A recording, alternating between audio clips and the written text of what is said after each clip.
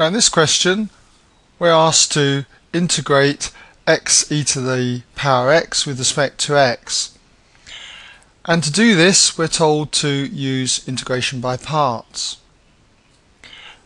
So what is integration by parts? Well just as a reminder if you've got two functions of x, let's say u and dv dx, and you've got to integrate that with respect to x, then it's the first part, u, multiplied by the integral of the other part, v, minus the integral of what you've just integrated, that's the v part, multiplied by du dx, that's the differential of the first part.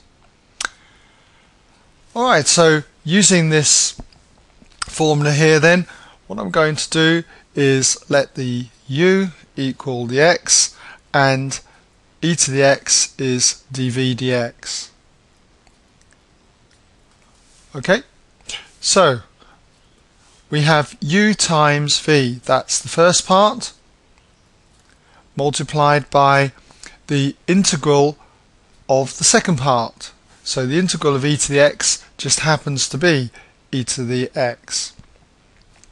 Then we have minus the integral of what we've just integrated, so that's that value there, so just write that in, multiplied by the differential of the first part, and differential of x is simply 1.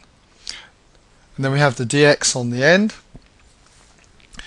Clean this up, and we have x e to the x, and then minus just simply the integral of e to the x with respect to x. So copy the first term in again, x e to the x, and the integral of e to the x with respect to x is e to the x.